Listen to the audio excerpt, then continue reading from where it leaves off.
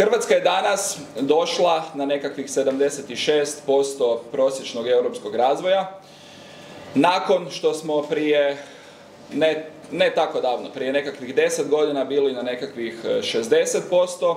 i sada i sa ovim programom, ali i sa programom Sigurna Hrvatska, dakle programom HDZ-a za parlamentarne izbore,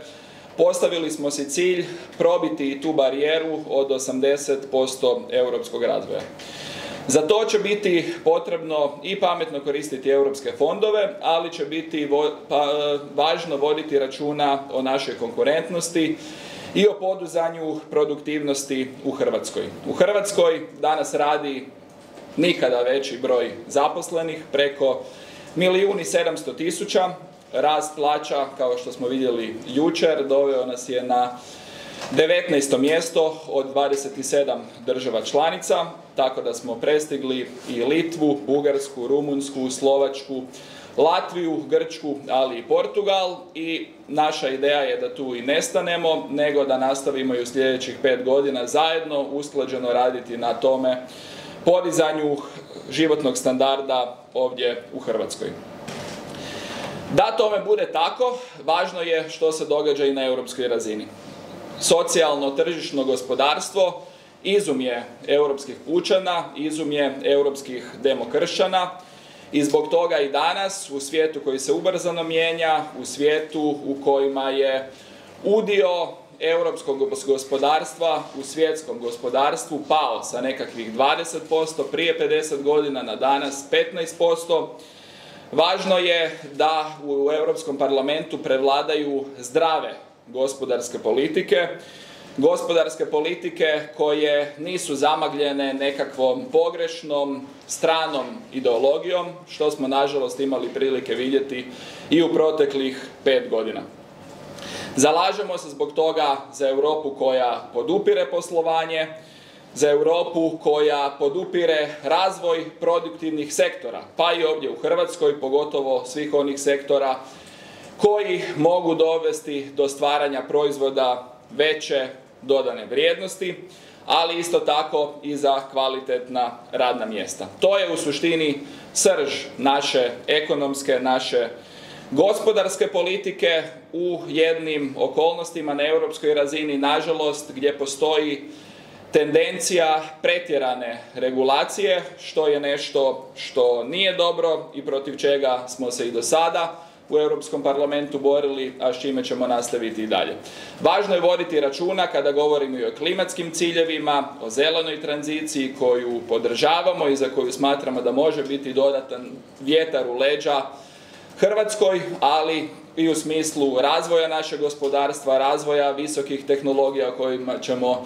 više govoriti na nekoj drugoj presici, ali je važno voditi računa o tri dimenzije održivosti, uz onu ekološku i o ekonomskoj i o društvenoj održivosti. Zbog toga se zapravo zalažemo i zbog toga možemo obećati da ćemo i u sljedećih pet godina u Europskom parlamentu biti glas poduzetnika, malih i srednjih poduzetnika, obrtnika, svih onih koji žive od svojih ruku i da ćemo se boriti protiv pretjerane regulacije, administrativnog i birokratskog opterećenja. Što više i u našem europskom programu predviđeno je da ćemo dovesti i da ćemo smanjiti regulatorno opterećenje za jednu trećinu.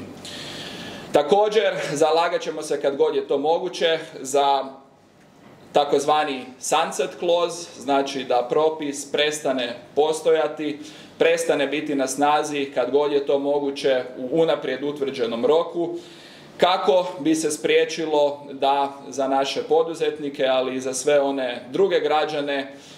postoji preveliko regulatorno opterećenje koje danas zbog različitih ciljeva nažalost dovodi.